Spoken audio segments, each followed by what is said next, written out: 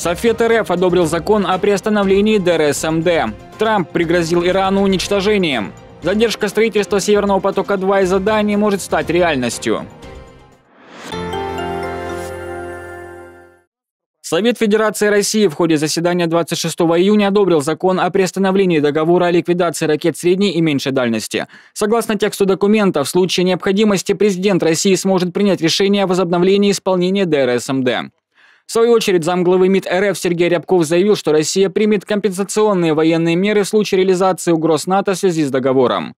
Когда эти угрозы начнут воплощаться в материальных шагах, нам, видимо, придется принимать компенсационные военные меры – мы будем сдерживать агрессивные намерения НАТО, будем калибровать и очень селективно подходить к тематике диалога с Альянсом.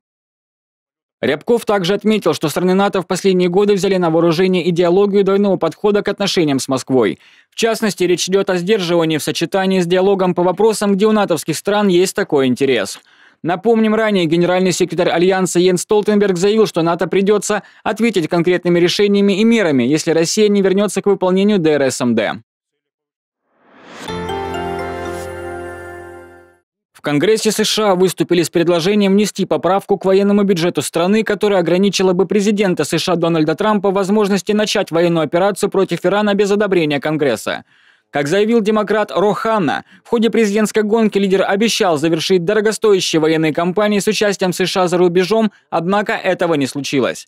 Между тем, сам Трамп накануне заявил, что Вашингтон встретит любую иранскую атаку против чего-либо американского силой и пригрозил Тегерану уничтожением. По словам Трампа, замечательный иранский народ страдает, а иранское руководство не понимает слов «любезность» и «сочувствие». Увы, понимает оно силу и мощь, а у США самые мощные вооруженные силы в мире. Только за последние два года в них было вложено полтора триллиона долларов.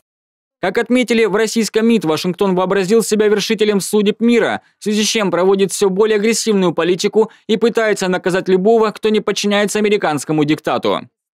Создается впечатление, что в Вашингтоне сжигают мосты, вопреки своим же заявлениям в приверженности диалогу с Ираном, добавили ведомстве. Замглавы МИД России Сергей Рябков также отметил, что США оказывают ожесточенное и лишенное тормозов давление на Иран. Курс на слом договоренности и последующее ожесточенное, абсолютно лишенное каких бы то ни было тормозов давление на Тегеран, на иранский народ, на его руководство, приводит к возникновению серии очагов потенциальных проблем.